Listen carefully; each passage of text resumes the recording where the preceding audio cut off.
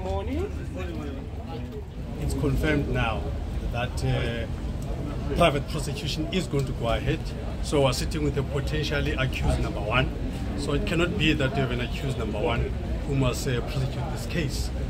That's the first thing. Secondly, there's confirmation now that uh, the, superior, the, the SCA uh, has received the application for the reconsideration, and so we can't have those two processes running in parallel.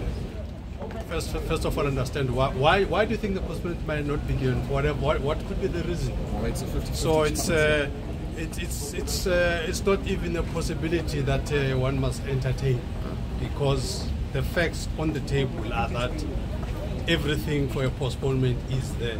There's not even a single reason why there shouldn't be a postponement uh, because of the two reasons. I mean, this is factual. That the CA has got this thing in front of it is factual. So how do you proceed? It's almost like you're wasting time for the SCA. You put things on the SCA, but you still continue here. It's like hedging your bets. Can't do that.